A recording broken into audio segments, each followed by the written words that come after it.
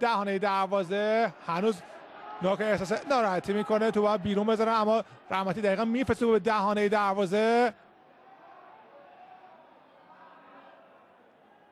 کار دنبال میشه. فرهاد مجیدی و گل! گل مساوی توسط فرهاد مجیدی زده میشه. یک یک مساوی. اعتراض وحشتناک بازیکن استیلازین و کام تصاوی کشیده میشه.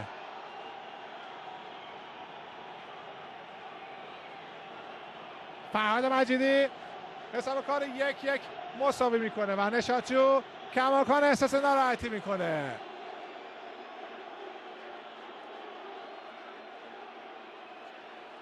یک دقیقه بود که خوش روی زمین انداخته بود. اینجا این پاس در اوق انداخته میشه و خارج از قاب تصویر توپو در دهنه دروازه قرار میده. این اشتباه محمدی است. بعدش زندی پاس سانتوس و ضربه تمام کننده فرهاد مجیدی این سم بازیکن استیلازین دارن.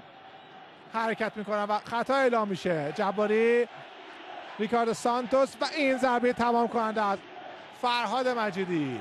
حالا